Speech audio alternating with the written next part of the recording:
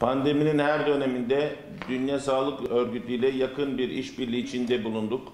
Pandeminin ilk dönemi Türkiye'nin test, takip ve tedavide çok başarılı bir süreç yönettiğini açıkça ortaya koymuştur. Sizin de yakın takip ettiğiniz üzere Türkiye'deki rakamların seyri bunu açıkça göstermektedir. Özellikle tüm dünyada yaşlı mortalitesinde çok ciddi sorun yaşanırken ülkem etkin tedavi yöntemleri ve düşük mortalite oranları ile ön plana çıkmıştır.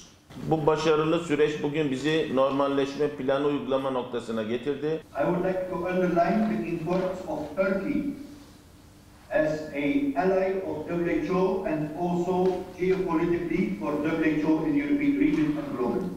I will be very eager, very happy to work with our best specialists, with your team Excellency to document the great Turkish experience in the COVID-19 response. I was very impressed by your presentation at the meeting of the Ministers of Health of the Turkic Council.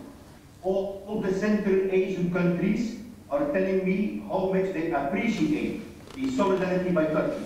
Thank you so much for this great example of international leadership and solidarity. I also would like to commend the leading role of Turkey in extending universal health coverage to the Syrian refugees in Turkey and independent of which side of the border.